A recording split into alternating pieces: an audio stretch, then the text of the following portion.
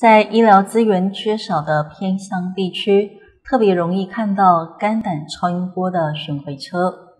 在学校开课指导超音波诊断学与技术学的张永辉教授，自己设计超音波检验车。在医疗资源越少的偏乡，越容易见到肝胆超音波巡回车的踪迹。在二十几年前，从佛光山的时代，饮水医院的时候，就跟着这样跑来跑去了。哦，不是今天才跑出来，这二十多年的车了啦。啊，因为刚好上面可以放这些超音波啦，什么这样子刚好做，这样刚刚好了。我自己家里有开业，但是我是在学校固定讲师，专门在讲超音波的讲学这一块的。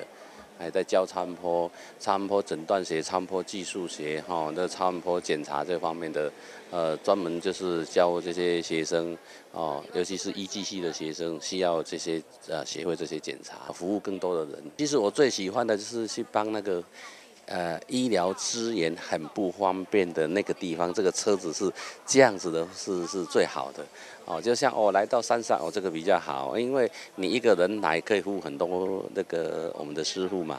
那师傅要每一个跑到医院去做，就是会浪费很多的时间。啊，越资源越不医疗资源越不发达，是我们想要去的地方了。哎，啊，这这个就尽量是做一些雪中送炭，我们尽量不要是这个锦上添花。透过张永辉教授的超音波检查车做检查，可以及时观察病患的身体状况，有利于医疗资源有限的地区做及时的服务。史方新闻黄慧茹、简玉林南投采访报道。